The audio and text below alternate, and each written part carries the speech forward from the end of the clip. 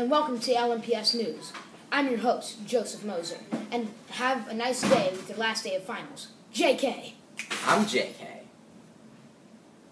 Today is Thursday, June 11th. We are in an A week, and today's forecast is a high of 73 and a 60% chance of rain. Rain! Yes! Ow.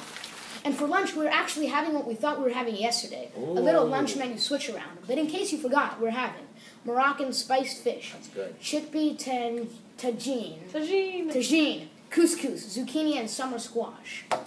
Now for today, school reminders. Advisory will be in individual advisory once again. Attention athletes, do you want to sign up for fall, fall sports? Are you interested in cross country, volleyball, or soccer? Then you must attend a mandatory meeting this Monday the 18th at 3:15 in the Morris Gym. Be there. And the SAT word of the day is chateau, a castle or manor house.